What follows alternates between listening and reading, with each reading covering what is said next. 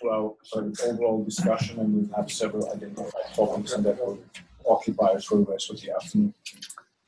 So thank you very much for inviting me here. This is the coolest place ever I gave a talk in my life. So it's always good to have me back here at the INT Institute for Nuclear Theory as an experimentalist. You know, you always look the dumbest one in the room. All right, so I will talk, as I say, like about our previous experience that we had, or the studies that we did uh, for uh, measuring, for extracting GPDs, auto measuring DVCS with an EIC, what we did and what is actually left in the future to do, and what we learned from the past. So I kind of like focus on these grounds uh, we have discussed this many times today, so just to set the stage, we can consider exclusive processes to, of course, extract GPDs. And DVCS is rightfully so called the golden plate, you know, process because you can, uh, by varying Q square, scanning in Q square, uh, access by evolution both quarks and gluons, and you don't have complications uh, due to the lack of knowledge of vector Meson's uh, wave functions.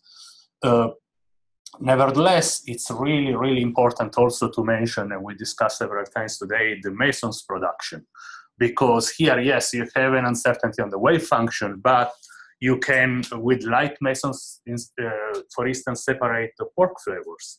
And uh, with the J/psi, which is a higher mass meson produced in CC bar and quark gluon, gluon, gluon fusion, uh, can access directly the, the, the, gluons. So this is a very powerful mechanism combined with DVCS2. So all of this, we want to evaluate how well EIC can do and what is the impact. And also the alternative way that was discussed today is that we uh, measure DVCS, but also on a neutron. Of course, on a collider, you don't accelerate neutrons, so you can accelerate polarized deuterium or eventually helium-3 and do the same stuff for uh, actually uh, separate the flavors. And this is actually interesting to do in parallel with the Vector Meson production. All right, couple of words about the observables that we have to measure. So experimentally, we need a machine now that measures with precision all set of observables we need. So the differential cross-section is one that has been discussed extensively today. And another very powerful one at TIC will be that couldn't be possible at Hera to polarize transversely the proton beam and then measure the AUT asymmetry, which gives you access to GPDE and opens the window to the spin decomposition of the proton through the Ji sum rule, as we know. Hera actually measured uh, the at least one measurement there is of charge asymmetry because we had electrons and positrons at Hera. There was uh, this is actually a nice way to access the real part of the scattering amplitude as we discussed. There was a time that we discussed at the AC of having positrons too. This discussion at certain point ended. So, but I just leave it uh, as a note there. So what can we learn from the past? So the only collider that we had that collided electrons and protons is Hera. So Hera collected this half uh, femtobarn per collider experiment. So if you combine data together is one inverse femtobarn of data in 15 years. So actually the main difference will be luminosity if we compare her with an EIC uh, Hera had a larger center of mass energy, but it was a very a less flexible machine, let's say. So we run basically most of the time at the same energy or so, or similar. Uh, the detectors uh, used at the collider H1 and Zeus were not optimized for doing exclusive diffraction in the first place. So we had to adapt and, uh, and learn from the experience. This is something that we learn at the EIC. So we want optimized detector that we can control systematics very well.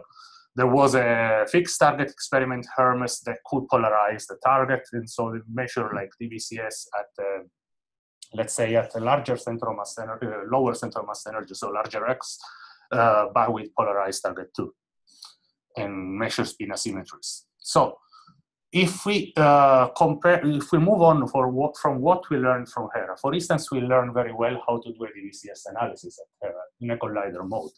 So uh, we need, when we uh, measure the differential cross-section as a function of t, certainly to have an exclusive measurement. So we ideally want to measure everything we have. We have the electron, we have the positron, we have the proton that not, was not always possible to measure at Hera, but there were uh, later on added some Roman pots in the forward region that could catch and measure the form momentum of this guy going forward through the beam pipe.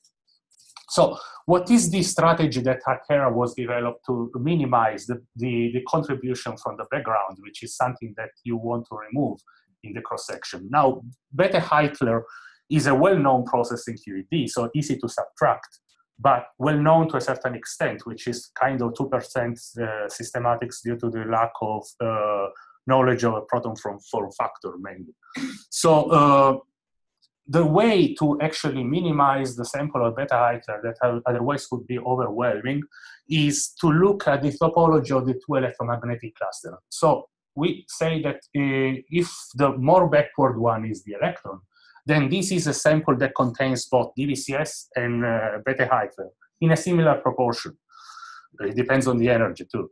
But if, uh, if the photon is the one that goes more backward, backward than the other, uh, then this sample is completely dominated by Bethe-Heitler, plus some other source of background that can be the electron, J psi, that can be easily estimated. Hera, for example, asking that the charge of the lepton is not the same as the beam particle. So it was what we call the wrong sign sample. And then you do a subtraction of one to the other until you clean your sample, you have a clean DVCS.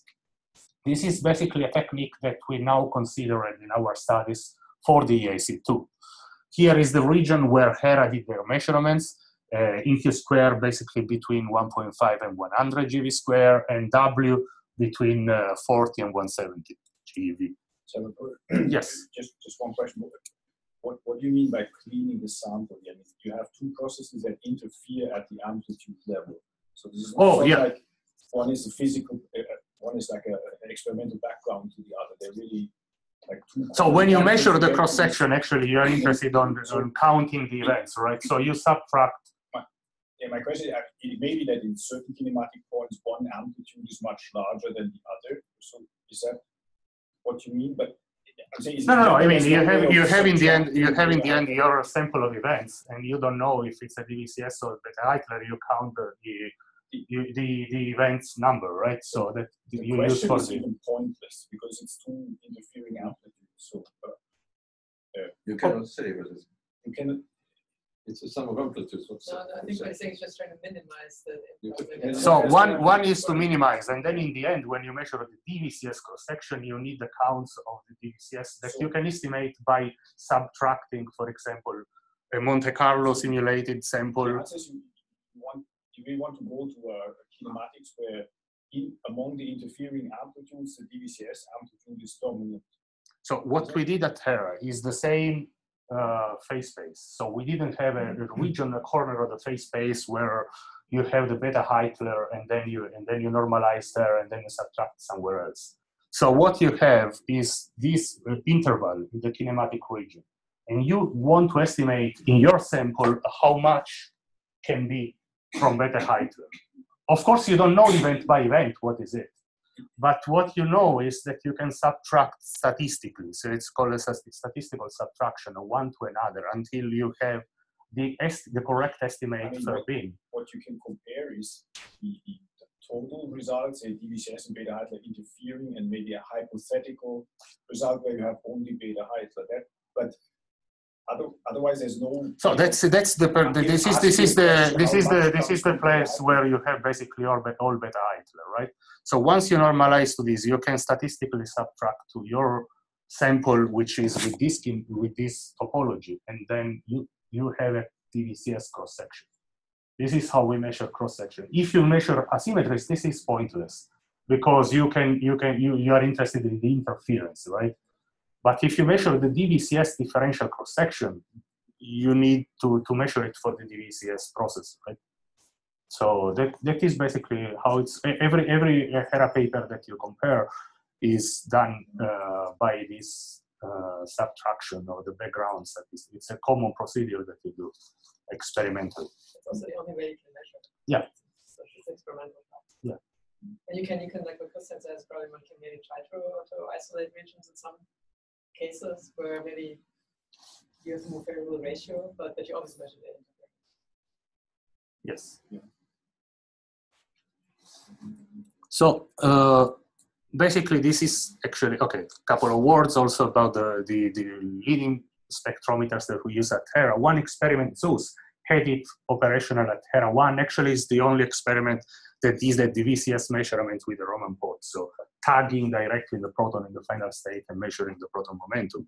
Uh, then that experiment had to remove the Roman pots in Hera 2 because they changed the magnet configuration and the, the, this spectrometer couldn't be there anymore. There was no space. Uh, but one, one, this is already telling you the difference with an EIC. So at Hera, when you use this, uh, this spectrometer, only you could use a sample of 31 inverse picobarn. And this spectrometer was far away from her 100% acceptance. This had like a matter of 3 4% acceptance. So the statistics was ridiculous, and this is the the measurement with the Roman pots that Zeus could do at low q square. This is the B slope, so it's a slope of the T differential cross section. Compared to uh, measurements from H1, always of the DVCS, but in this case, uh, the T was reconstructed out of momentum conservation. So there is some systematics that are more relevant in these points. Uh, this is a collection that actually you can see in many of the Hera talks where you, you see these beautiful measurements of all the methods together with the DVCS. This is again the B slope, the slope of the differential cross section in T. Uh, you can see that you can see this nice transition from the soft to the hard regime when you have the, the, the slope goes from basically 12 or 11 uh, and goes to level at 4.5 and everything looks within these uncertainties, at least universal. It's not clear actually how it looks for the DVCS. Daria today showed like the, the, the plot where you also have the B-slope from COMPASS And it looks, uh, it's in another phase space, well, okay, it looks like compatible with this, but you want to see what trend, for instance, has uh, evolving Q square. And this is a leftover from Hera and within the uncertainties you cannot say. So what is the advantage touch now of, DAC? Certainly you will have a, like a very flexible machine compared to Hera, and we all know this. And in our case, the advantage is that mainly is the luminosity. So we can do fine beams and we can polarize uh, the protons and the electron together. So we can have fine binning, and in this fine binning, have both a precise measurement of the T differential cross section and of the spin asymmetries, particularly the AUT. And we'll want to uh, design properly the detectors from, from day one, of course. So uh, here is again the phase uh, space coverage of an EIC. This plot is a little outdated, and so you have actually a overlap with JLab 12. And EIC uh, will be like once you extend to the full energy scale, you can you, you can actually connect the region uh, from uh, where you measure it at fixed target experiments down to Hera. So this is kind of it, it, it, you can do this this mapping of the phase space very in a, in a very fine binning. So again, this is a machine that will in the end challenge the theory because you will have to evolve to, to, to, to develop a model which is able not to just describe or do imaging at large or low x, but describe all the transition in between. So I guess it, it will be challenging, and uh, this is what ESC will buy us. What's, what's the minimal y which you think you can? Uh, 0.01. 0.01. And, uh, and then the maximum that here we consider it's 0.6 in this plot the. There's no problems with resolution or so forth, such low y. It depends then on which detector you, you, you consider, right? But yeah, point, 0.01 to 0.03, this is the, the, the, the lower limit of the designs that we are considering now. Uh, so what actually we did, and I remember we did back in time with Creso, Dieter, Elke, and so on, uh, published in this paper here, and later ended up in the white paper. So how can we assess an impact of um, of the AC on uh, constraining the, the, the, the GPDs with DVCS alone? So we did a, a study where we did a mock analysis a la Hera. So we did all this, uh, the same kind of analysis cuts and also the way of uh, rejecting or uh, reducing the Bethe-Heitler background. We kind of evaluated what kind of uh, radiative effect we, we can expect. We assume we assumed also the uh, detector acceptance that at that time was the model detector at BNL, but basically it's a similar acceptance in uh, in the detectors that we are considering right now. Uh, we consider the resolution from a typical Roman pot spectrometer, and then we bin three times that, and it's still a fine binning. And we assume a, slope at the time of 5.6, which is compatible with what H1 show, uh, measured. Uh, so, and then we assume also systematics, which it's a benchmark, it's a ballpark of 5%. It's really a ballpark. At Hera was around seven or so. So you can set a goal, like we can learn something from that, and, and let's assume 5%. It's really a ballpark. Uh, I have curiosity just because yes. So uh, about the radiative correction, so Yes. evaluated.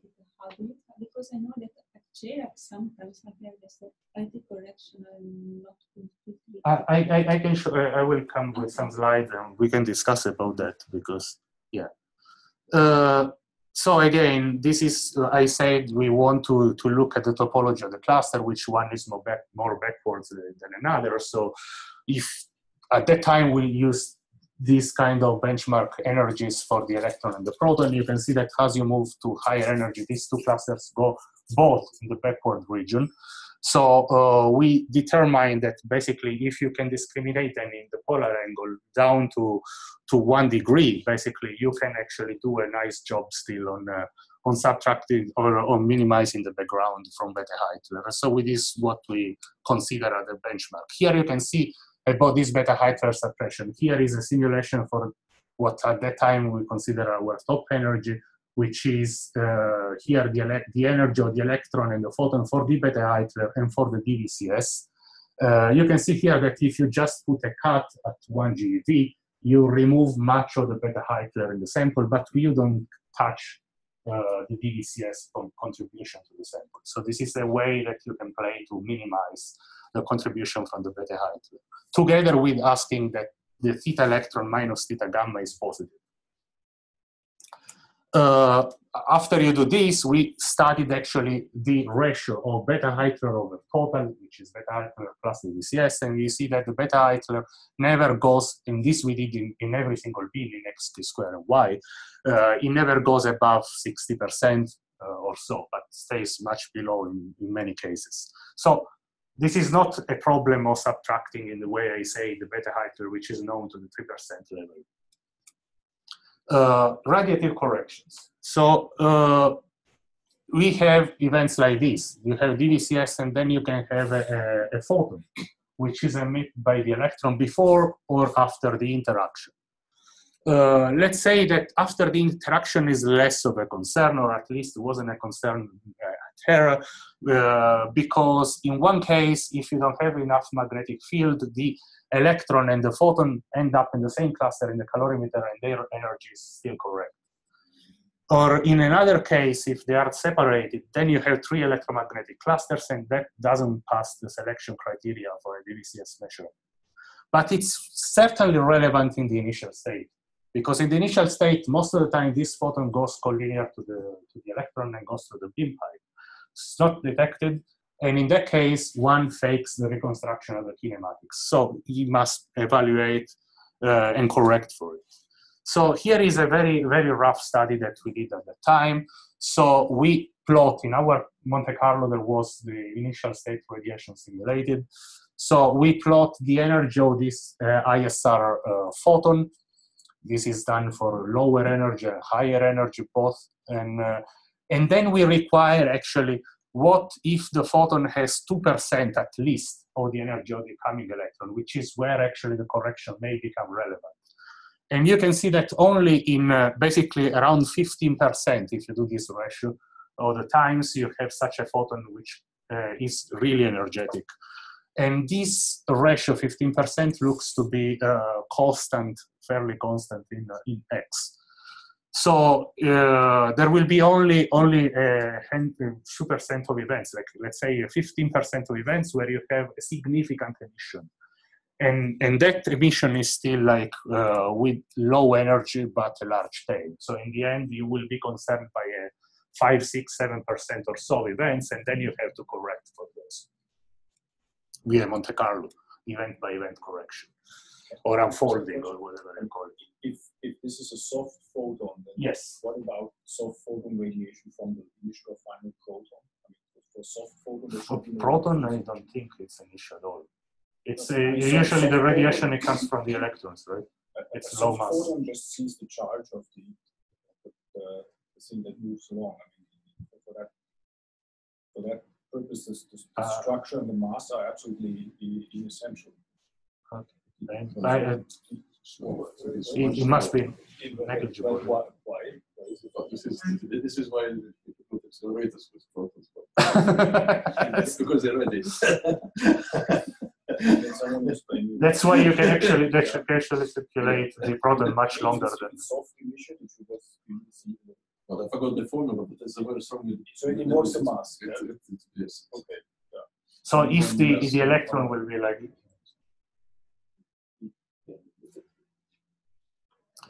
so basically, and this is actually what you now see in the white paper often. It's like we did uh, the statistics evaluation. Uh, our benchmark at that time was 10 inverse femtobarn, and you can see that you can populate both lower and higher energies.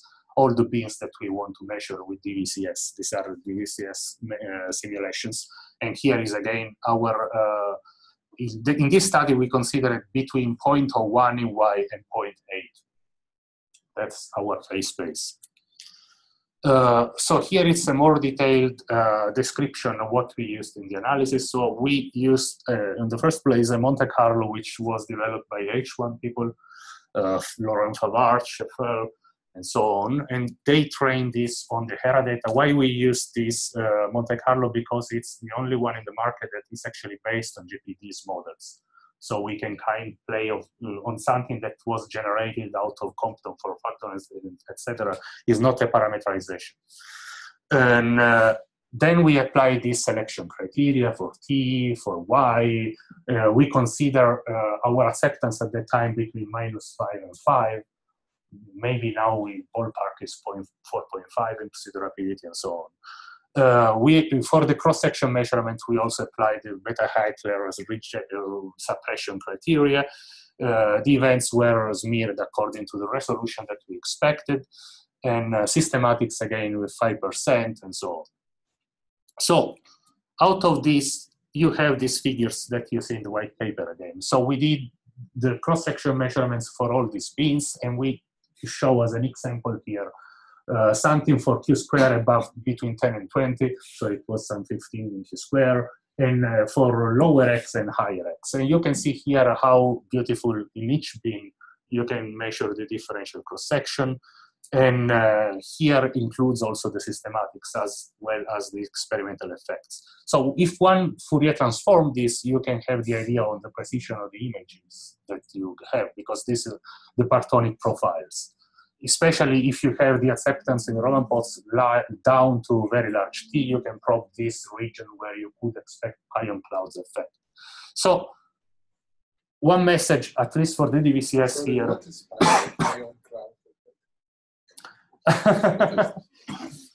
I think there's a, a chiral component to the Yes. transverse density, which is, if you like, it's uh, the coordinate space image of the two pion cut form factor.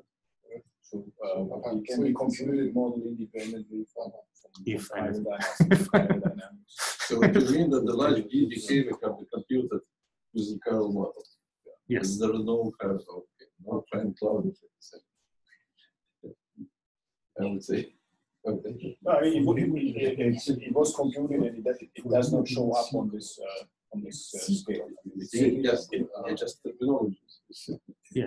What you see is the uh, No, but here certainly you don't see such an effect. It wasn't in the It simu- It wasn't in the simulation in the first place. Yeah, Well, yeah. If you like- just go down, you you probably can compute uh, in, in, in, in, in the chiral distribution series, uh, you know, sees behave very largely, right? uh, what what you can compute, uh, uh, as you say, is the uh, the, the, the uh, pion densities or the charge densities at p of the order of the inverse pion mass. And then you can Fourier transform that and look at what that does to But, but it's not a Pi cloud effect, it is just a calculation of the GPD It- it's using yeah. the perturbation series. It's, it's just- it's just terminology. Terminology. But then if you do the Fourier, look at what that does for your slope. It's a, it's a very tiny contribution to the slope, very close to zero, which you, which you don't see on this, uh, That's right.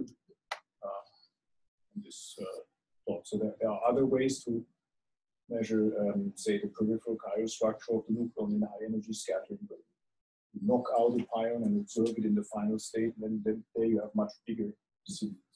But uh, Uh, okay, so uh, a way that we that we show sometimes to, to, to, to show how important is actually the detector at the EIC is that we are really challenged by systematics here. And here is a way to see. So if we consider, and of course we can play with other ballpark systematics, but if we consider our 5% systematics, and here we even scale down the benchmark luminosity to 4 inverse picobarn, here what we plot is the ratio of the statistical uncertainty over the total one. So statistical systematics in quadrature. And you can see that basically it's always below 1% the statistical uncertainty or 10% if you go up in Q square up to 100. You really have to go uh, up to the moon in Q square to, to, to see that you are challenged statistically. Uh, so this is really, really, really, really important at the EIC to control the systematic. This is where, of course, if I change from 5% to 4% or 3%, it will change the game. So it's the systematics that we have to control for the DVCS first, um, uh, I cannot read that. What, what is the cross section? This is the differential cross section. That's the differential cross section, And yes, as a function of t. This is t. No, T. no, below in the, in the cross below. Here, Yes. b, the impact parameter. So this is the Fourier transform in the impact parameter space, which is what you then use. Of course, this is not out of a uh, GPD extraction, it's just Fourier transforming the, the differential cross I think actually that this plots, I mean, I don't want to interrupt you, but this plots are extremely over optimistic because because uh, in order to there is this huge huge problem how to can go to size zero. The only way you can you, how can you do it is to trace the Q squared dependence. There's no if you have leading order results, there's just no way to go from psi from x equal to psi to psi equal to zero. No way. For the small- That means that you will need extremely precise data also to be able to use. I mean, imagine you have, I don't know, a- n very high order perturbative collision. Still, you will very precise data to trace this, this dependence. Otherwise, it will be 100% dependent on the models. That would be the problem. So, and this is a difficult issue to, to, to investigate. And That's right. do it here. That's right. but that is a At, at, at small x, you can go between the, the, the diagonal and the, the skew distribution in a, in a fairly but controlled not way. it, it, it takes for the And also, if you assume that the assumption to use exponential is correct. I think even there actually you can No, even even there is challenge. You- We also try with dipole dependence. You know, it's It- it will be you can play around, of course. Unless you have extremely high would for, for, for x below 10 to the minus 2, this, this approximation based on Shuvaev uh, uh, Lutz that uh, um, should be safe. Okay, I, I think, okay, I, That's really I said, uh, my understanding was that, uh, Maxim Polyakov had some general argument that it is also not, doesn't work in small x, but I'm not sure. yet. For large x, it, I know that it. for large x, it's- you're absolutely right. So it's a very delicate issue. You will need very precise data to be able to trace it, these things. And Matched by very high order perturbative no. really- This is just to make the argument that just- how yeah. precisely are the data that if you Yeah, return this- form it, you have. this- this But then this is not the GPDs. Of course, you have to. Yeah, yeah. So we we agree totally. Yeah. So another thing we saw is how precisely we can do like Rosenbluth kind of separation. So at different energy, this shows like the uh, cross section of DVCS over the total cross section, where total means DVCS, the amplitude is the sum of DVCS square plus by beta square plus the interaction term. And we can do it precisely also with an EIC if we have a, like you can scan two different energies at least.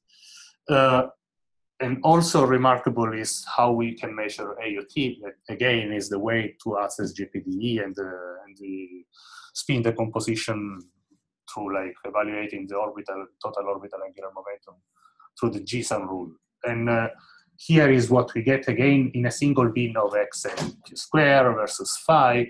This is the AUT asymmetry for uh, large energy and lower energy. Uh, you can see that everything looks around zero because basically we didn't have prediction in our Monte Carlo at that time, and we don't have it nowadays. So, uh, but you can just, you are interested basically here on seeing how tiny the error bars are. And here you can compare to different assumptions. So it's like th that will be, whatever it will be, it will be a precise measurement of AUT. That's the argument.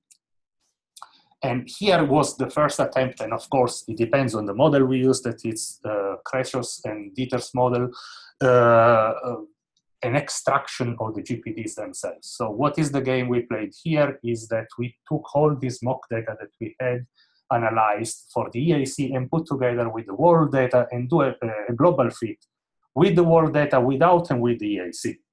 So here you can see the GPD H for the quarks without an EIC in purple and with the EIC in, uh, in, uh, in, orange. And if you can see the scale, this is a, a significant improvement. You can also have the EIC, uh, the, the GPD for quarks with the EIC. It was unconstrained in that model if we just take the world data.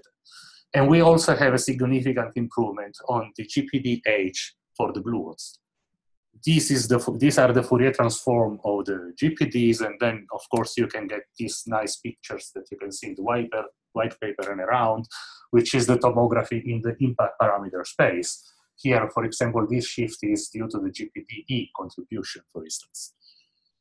So this is actually uh, what we have done.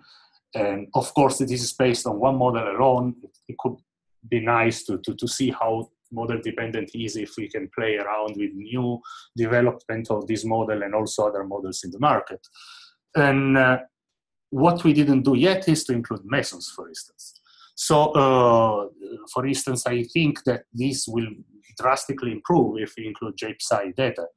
And we can also extract GPDE for the gluons as well, for the you measuring J/psi, and we can separate the flavors. So everything is still uh, like something that is uh, left to evaluate. So what is the total limit? Yes. Is that really true that you have a shift in, in, in due to the GPDE yes. for polarized C core in an unpolarized proton? Mm -hmm. But this is E bar transfers what you need for that shift. E, e affects the density for in a polarized proton or unpolarized quarks. This is a polarized proton. It's yes. a polarized. yes, yes, yes, yes. Question. This is out But of then- AUT but then measurement. The Yes. C quarks are then unpolarized, right? If you have the. GPDE.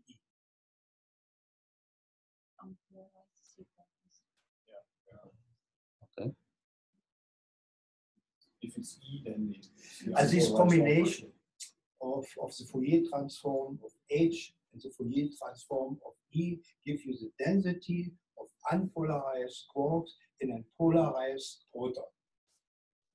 The polarized C quarks. It's Yeah, probably the thing. Ah, ah, ah, ah, so- Sequence, polarized proton and sorry, sequence. sorry. Now I get it's this that puzzles Yeah, me. yeah. Sorry, sorry. Yes. Okay, got it. Yes, no, right. Polarized polarized proton. So unpolarized. Yeah. Okay. Yes. Correct.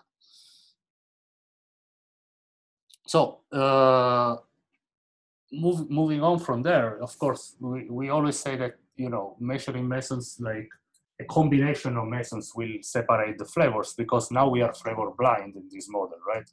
Fitting DVCS alone, J/psi gives access to gluons and so on.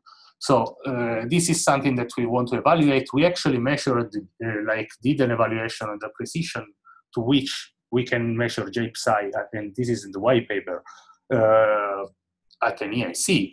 And you can do a precise job. What we didn't do is an impact study for the GPD. So this is what you see in the white paper. We did the same as for the DVCS, And this is an example for a beam at lower and uh, higher energy, at lower and higher extent.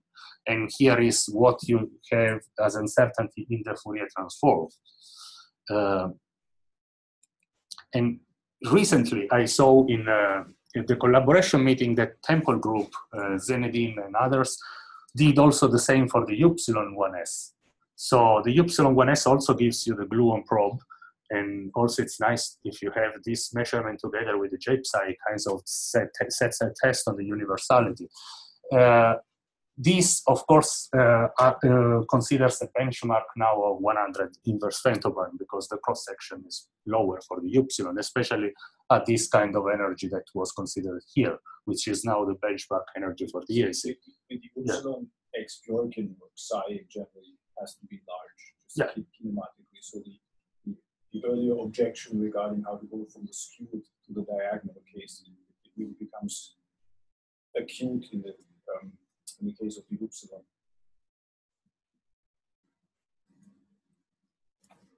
Yeah. So these were the, the beams that were, were assumed in uh, q mm-hmm. square plus m square the upsilon, which is the always in this in the hard regime. So we actually did a, a workshop on all this meson business recently with also Christian running it, and uh, there were a couple of people Peter was there, and you know, we, we discussed about this because actually the problem is right now that a few people, Kresho, for instance, Peter, uh, they are doing this kind of fits, uh, but we want some framework that propagates, I don't know, the knowledge at least in the future or projected in 10 years by now where the EIC is coming to play. And we actually want a system which is actually giving us users the opportunity to, to do like tests uh, fits with different models and see the model dependence of what we want to probe. This is this could be a powerful tool. So we are now thinking about you know putting them in a framework which is called Parton or any other framework, but something that enables us the users to, to do easily do the fits uh, and, and and get like at least a rough answer on what we want to probe and model dependencies and so on. And also to propagate again the knowledge because we don't want to build EIC, which is built as a gluon microscope, and then we discover that the know-how on, uh, on the imaging is lost somehow in, uh, in 10, 15 years by now. So this is the the list of conclusion of that workshop, and I just stress about that meson production could become essential tool for uh, the GPSD studies at an EIC. So there is a dedicated community although small but dedicated. And there is uh, the next level impacts are still to come, and we have this workshop, this framework, which is the Parton project from Moutarde and others, that can be also set as a as a platform for doing this um, in a next fitter way kind of style. Okay, couple of words uh, back to the experimental part uh, on the Roman pots spectrometer, this is actually what we use at HERA to, to, to, to basically be sure that we have uh, a diffractive event without any background. So we measure the XL variable, which is PL prime over the, the momentum of the beam, and a diffractive event, we have this nice peak at one. So you select that peak you have basically diffractive events and you don't have proton dissociation background, nor you have the systematics associated with. Again, systematics will dominate at an EIC. So both facilities, BNL, uh, JLab, are uh, struggling on uh, having like the best like forward acceptance for forward protons that you can have. Here there is a quick study that we did to show the impact that if you lose something in the T acceptance of this forward spectrometer, for instance, if you lose the uh, lower part, a little bit of the T acceptance, then when you Fourier transform, you blow up basically the uncertainty in the Fourier transformation. And if you lose the higher part, then basically you blow up the lower impact parameter. So it's really crucial that we have close to 1%, 100% uh, spectrometer that covers a large portion of T. And this is how BNL is addressing the problem. And I don't want maybe to go into details unless you ask. And this is how JLab is also struggling with it. So it's like it's it's a study that we are doing now to to be sure that we can do this right. Uh, before I conclude, like few uh, words on the nuclei because uh, we don't talk about this much, but like we we need to. It's nice. It could be nice to have the GPD studies for nuclei as well, because as we do for the PDFs, the nuclear effects should be evaluated with for the GPDs as well. So one would uh, think of doing this uh, in EA, uh, me measuring like exclusive processes as well, like mesons. And here we did back in time some couple of rough um, simulations using Sartre in uh, eGold and producing J/psi and Phi. Uh, this shows a comparison between the coherent cross-section, which is this bumpy one, and the incoherent where the nucleus breaks up, which is the, the straight line one. And you can you can actually do an imaging using using these mesons, but uh, since we are talking about nuclei, so dense nuclear environment, if we are, the saturation scale is within our grasp, we can also study uh, kind of the transition into it. Uh, for instance, one powerful tool is to use the phi meson. And here you can see in this model, uh, the PSAT model, the BSAT model, this, the blue includes the saturation effect and the white includes no saturation effect. You can see the difference. And in, in that case, you, you should have an idea if you see or not some saturation effects or transition into saturation. And you really need to put in leading twist nuclear shadowing That's right. into the theory. Yes. Actually, uh, given what is now established or, or, seen in nuclear shadowing in ultra-peripheral collisions, we would say that what you really measure here is the, the, the thickness dependent dependence of uh, leading twist nuclear shadowing as a function of the of the impact.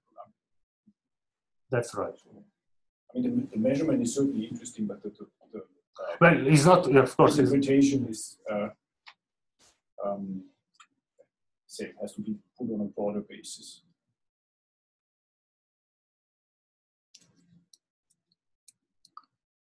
So yeah, uh, then couple of words about the detector. You, of course, to do this business, you want something which is really hermetic. So something which covers some pseudo rapidity. Now ballpark is between minus 4.5 and 5 with an equal coverage of tracker and electromagnetic calorimetry. Uh, then you, as I said, and stressed, you want a nice forward spectrometer. And if you want to do this uh, game with the nuclei, then you have to veto the, the breakup using like uh, zero degree calorimeter or something like that in the forward region. So you need that too uh, in your detector and so on. So if you want to cross-check with a rapidity gap method, you need certainly a good hadronic calorimeter in the forward region and other stuff that, you know, precise measurement requires also a high resolution tracker and so on. Uh, so just here is a summary, I'll leave it there, but I want to stress that we did uh, this impact parameter, this um, impact studies uh, with DVCS back in the past, but I think that is now mature the time to redo this in a proper way, perhaps with, a full GN simulation, perhaps by adding mesons, and this is also a challenge for the theorists to, to, to develop something that works in a global fit with DVCS mesons together as a next to leading order that we can use for evaluate these capabilities uh, of an EIC.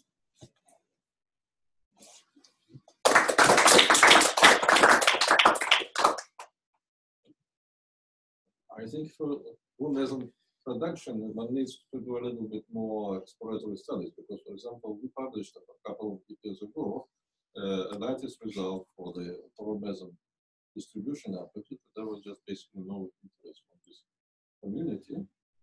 But uh, this is the question is uh, what, what you actually need. You know, we can get this uh, A2, which is the second about efficient with, with some accuracy, let's say 20, 30%. Is it enough or it is not enough? The study has never been done. Do you need do, do you need something beyond A2? I don't know. I mean, we have a, a whole day devoted to meson production on Wednesday, and I suggest that we, um, we come back to this. Because I think so my problem is that we have a very large NLO corrections too. Yeah, That is a much bigger problem. That's really the, the, the issue. Um, so we have to find a, a theoretical description at the to leading order that would allow you to plug the same. The theoretical PDF description exists, it's just if you have large corrections, Uh, you have large corrections. You can't find anything. You. Yeah, but that is also a way to estimate what actually the experiment buys to you, because then we can. It's easy to do a propaganda speech and say like, you know, we do the EIC where everything is beautiful and we want a super microscope, but then, then we take the data and nobody cares. It's, it's it will be a failure somehow. So we, we, we really we really need to be sure that we assess. That's what I'm saying. What- I agree completely. Yeah, but in some cases, you need the data. I mean, Yeah, but you data basically. I mean, it- it's, it's a so it's the chicken and the egg. right? You cannot say It's- you cannot say because we have no model right now we shouldn't take data. So it's a little bit have a little careful. No, no, no, no, no, no, no. I would just, just I I had a very modest moment. I said just Yeah, yeah, we need yeah. we, we need we need to know we need at a, a certain point to have an idea if we have the model but we, we what kind of precision data you need what kind of data or how how actually you know the data will feed into the model vice versa some at least rough idea that gives us you know a guide at least So we heard a lot about the, the JLab 12, uh, JLab 6 and 12 GE exclusive processes data this morning. Um, if you imagine, um, imagine we had the EIC, say, at um, 70 or 100 uh, GeV square root of S, and um, we wanted to do exclusive measurements in a region that is like maximally close to the fixed target, so to have kinematic overlap what what would be the main limiting factor? So is what what um just Ah. experiment is, is it your energy resolution in, in Y? So um, I mean what what prevents you from um, going down in this kinematic triangle? Uh, nothing i guess the, the machine energy No, I, I, I. So no, there, there is no, there is not, there is not an experimental. So okay, if you if you give me a 20 GeV machine, we overlap in that region, right? So uh, Usually, usually it's like uh, that the expert the, the resolutions in, in, in X and so they deteriorate with like one over Y. that's right. Yeah. that's right. That, that is like how, uh, but a good, you know, good calorimeter or tracker nowadays can do a decent job. Also, also that of course, if you the higher is the energy, you have advantages of like resolution plus uh, less data height in way. Yeah. But No, I, I'm not talking Uh, about the, but yeah, the merits of doing measurements at high energy. I'm, I'm, I'm asking uh, um, really um, kinematic overlap for cross normalization for direct comparison of data to data to extract some amplitude some XQ square point. We want to I, I don't see I don't see a, a, a real experimental challenge, but what you measure, what you mentioned that you know you have a little less resolution, but I, I don't know I don't I mean honestly it's like but yeah this is just helping you like as a cross check with the amazing job that already JLab does right? Because you will not compete with JLab 11 with an EIC they have a higher luminosity. Yeah. in, in um, it's like I think I personally I'm more intrigued on overlapping with HERA, where the you know the measurements were challenged systematically in the statistically. in your spin-dependent parts of the cross sections, don't you have some like depolarization factors that are proportional to y? That would be um, just very small to go down y. So that uh, means it would be very difficult to measure spin asymmetry. We know that's the case in inclusive spin structure. So, uh, like say the A, the A parallel um, differs from G1 over F1 by a factor which which really is proportional to Y.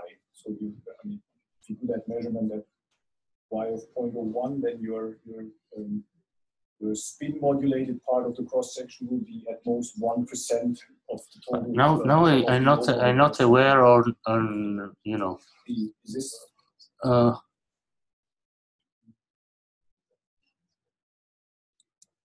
I'm not uh, I'm not aware how deep is the overlap because I didn't I, I, I didn't try to overlap like this with some 20 inverse uh, 20 GeV like center of mass energy. But are you sure you have to be really close to 0.01 durability? No, I'm just. You I'm have just some overlap. Limiting factors. I mean, Yeah. you, you may certainly have some overlap there uh, if you have enough low and central mass energy in a safe region. It's more, it's more that, yeah, you, Daria mentioned that it's super important. Is it important? So it's like uh, something that, so you want to redo these measurements of JLab to, to, to do like I'm not sure it's System. super important, but I, I think it's there. It's but doable if. I think it's doable, I mean, it's like certainly doable. It's, it will be not the same precision that you do already at JLab, so it will not publish in PRL. I don't know. It will not. it's doable. I, I, I find more attractive like overlapping here because you know you you you, you do at HERA you need an significant improvement of the, the, measurements at JLab 11. You do a nice job right now. So and you have different experiments, so you can cross-check already, right? yeah, cross-check controls, So- which is valuable. But certainly it's something that you can do.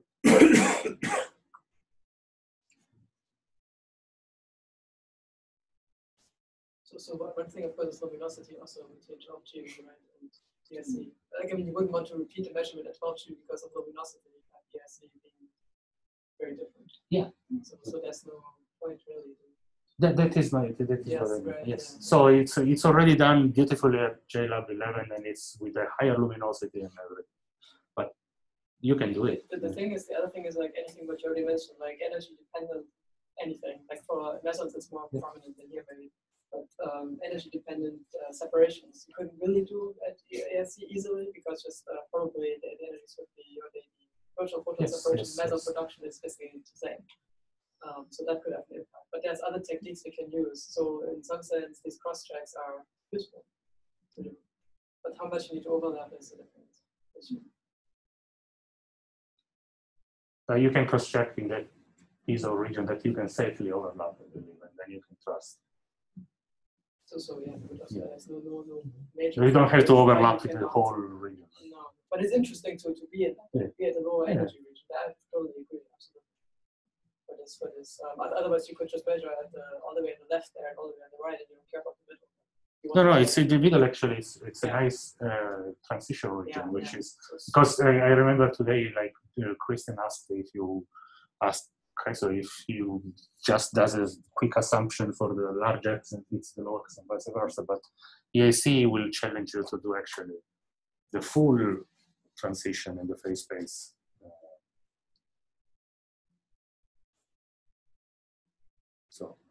We will deliver data that certainly will be challenging to, to describe.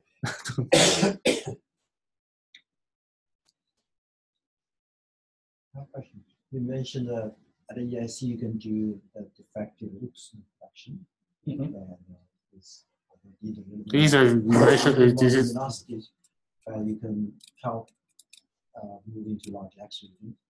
But for J psi, as we heard, there's some issues. Uh, what kind of kinematic range J psi you can measure in terms of its momentum? J psi, yes.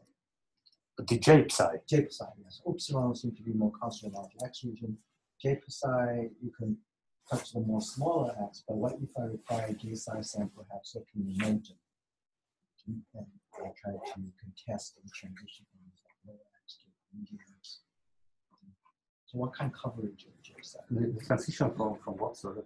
No, from a small X to a medium X. Ah, yeah. So by, by looking for the momentum in J psi, in certain regions, and helping to separate issues. and Uh, I, I don't recall like the acceptance for the momentum with J psi, but I think if you have an hermetic detector, you can use either the, the electron channel or the muon channel, and it goes down to the momentum that you can uh, measure for these uh, low momentum uh, leptons, right? Which will be good if you use a TPC detector or or whatever else is considered for the EIC. So I, I, I think you can do a good job there on uh, on measuring the J psi momentum or reconstructing the J psi.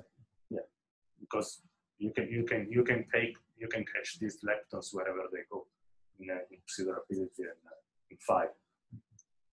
So not I'm not aware of it of, of any problem on measuring or reconstructing the J/psi. Yeah, actually, large advantages are helpful. If you're near too near the threshold. but Large can momentum really- J/psi will be less of a problem for sure. That's right. Yeah. Yes. So that's So in the J/psi simulations that you showed, did you assume that you have a muon detection? Oh, right. No, that that is only assuming electron, and if you if you have muons, you buy another factor too.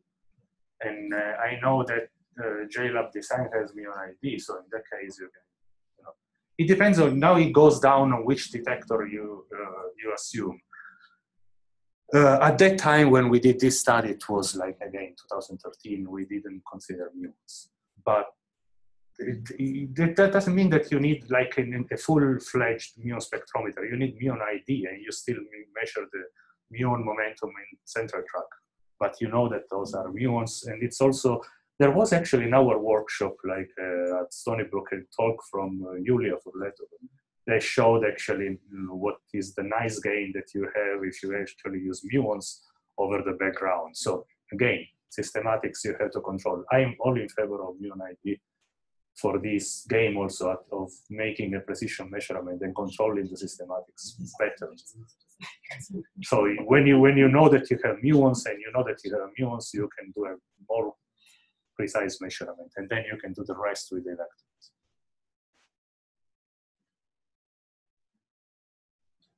Um, I wanted to comment on the uh, GPD impact studies on your slide. I think it was 21. Yes. Yeah.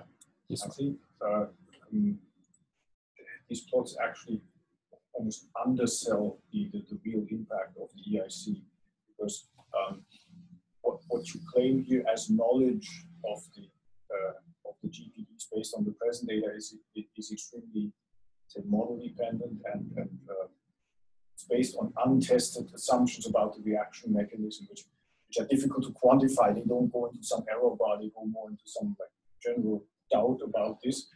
And um, um, one That's major thing that will happen with EIC is that we can test the reaction mechanism in, in, in much more detail and, and establish more confidence about That's uh, my fear too, and this is why things like, like higher twist corrections, uh, um, the validity of the factorized description, and so on. And um, I mean, what, what you show here about the, uh, the existing knowledge of the sea-quark GPDs is uh, it's, it's, it's like almost fantastic based on the present data. And it's not Yeah, it- it- it's just an assumption. I mean, it's, this was a model Yeah. that was used only uh, fitted only to HERA data. It's the simplest possible model, and so this is just uh, as a Yeah, it was more very- it was not it's- word, it's sorry, model that was dependent uh, stuff. I, I absolutely understand and, and uh, uh, I'm absolutely sympathetic to doing these studies. What I'm saying is, uh, it um, taken out of context, such a plot Yeah. almost like undersells Yeah, I don't want the this. EIC. It's, a, Especially the first, you mean the first one, right? it's, a, it's an anti, anti-propaganda problem.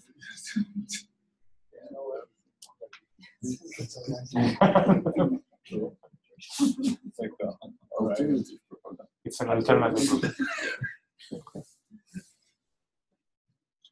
And I, but then it goes basically to what we call the bias, right? So how, how much it's like changing between one model and another. And this is actually what it could be nice to vary, or even even with the newer version of Cresel or you know, like to other, other models and see how actually this varies because that will give me the bias that is actually linked to the model. So when I show it to someone else that is not an expert in the field, I say, yeah, this is super precise, but watch out, this is the model, and if I fit other models, this is how it varies, and it shows you that actually, well, you know, since the data were then like kind of like fit with one single model, I don't know.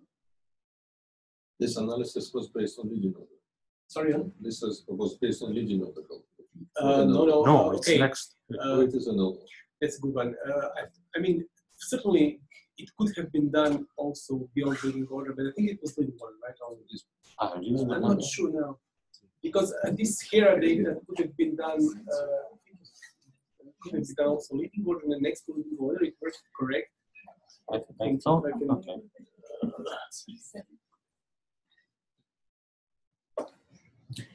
I thought this was an Do you remember? No, It was Ring Order, huh? it wa- it wasn't NLO.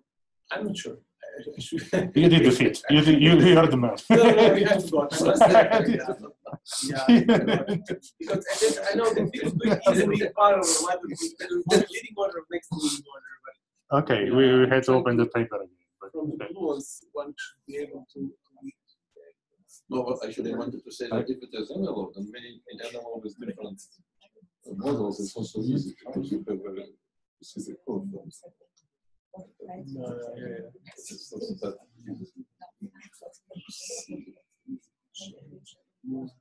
easy. Sure.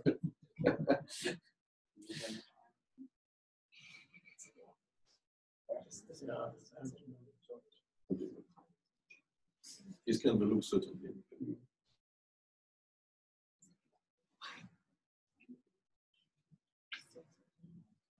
Salvatore, one question regarding 3D effects. You mentioned earlier, you said that dom- dominance is um, uncertainty in the Bethe-Heitler is knowledge of the proton form factor. This is my understanding. You can correct Isn't, me. isn't it, um, aren't QED radiative corrections generally much larger than that? I would imagine. that proton Okay, form factor is certainly wait, wait, measured wait, It's like the, the, the- yeah. So um, what I mentioned, what I mentioned, like the proton form factor as a as a source of like lack of knowledge on the on the Bethe-Heitler cross section, right? you mean you, you take the leading order QED cross section and uh, So what is limiting that cross section? then probably the only thing that's limiting it is the uh, is the proton form. Yeah, that is Otherwise, what I it would just be um, number. But, um, but I mean, overall, I would imagine that the um, um, uncertainty from higher order electromagnetic corrections is much larger than any um, proton form factor effect in the in the Bethe-Heitler, isn't it? In the cross section In the yeah. of the Bethe-Heitler when I don't know. say in, in um, suppose there, were, there, there was no DVCS, but there was only beta. So yeah, this question is how much how much you can uh, you can you can predict the Bethe-Heitler nowadays. What is the main in the cross section? So if I want to describe a Bethe-Heitler cross section, what is the lead limiting factor right now? Because it's a very well known process, and my understanding was that this two three percent of uncertainty, theoretical uncertainty, comes mainly on the proton form factor. Uh, that is my understanding. Not an expert. There's some off-shellness of the problem as well. Not in the beta high.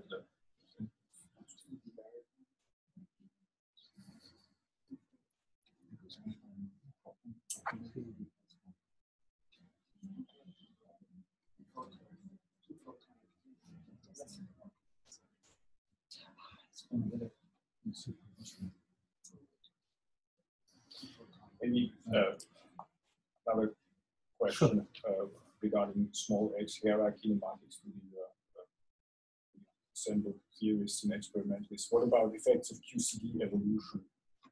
Um, have they, can, can we say that they have been seen in the HERA? Have, have they been seen in the HERA DVCS data? In the sense that, that, that Yeah, sure, sure. I mean, we, we had to uh, really implement the evolution to get it right.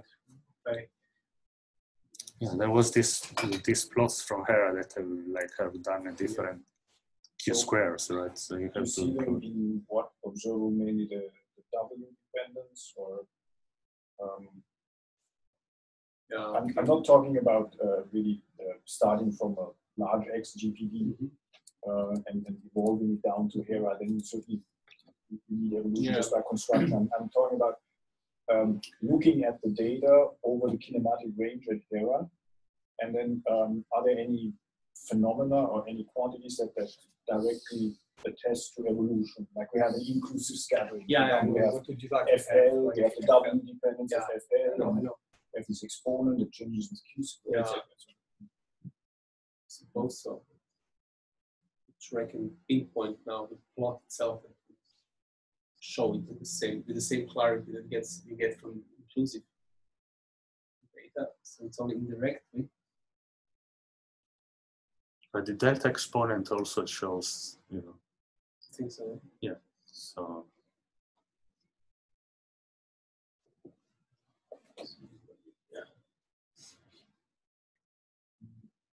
Has anyone measured the what's, what's called like effective re- rigid or effective trajectories for DVCS that you exponent of the W dependence as a function of Q square? See whether that changes with Q square.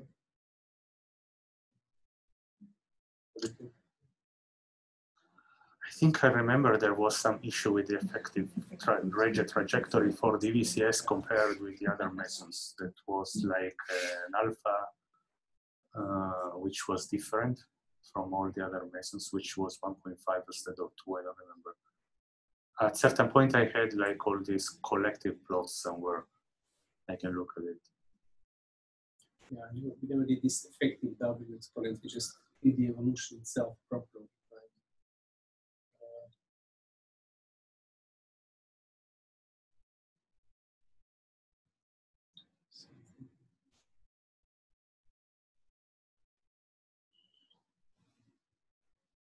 Yeah, I kind of expect the answer is yes. I can't really know pinpoint the what. We'll see. What should think about.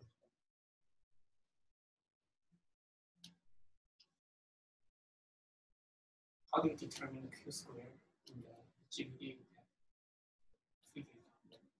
Sorry. How do you determine the Q square in the GPD?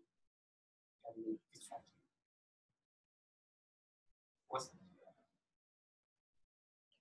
is it just to the Q square of the single mass of energy?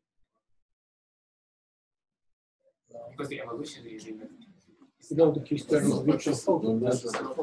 This Q square is- Is it- is it- so the Q square, so you are saying that the Q square in the GPD is equal to the, to the Q, Q square of the photon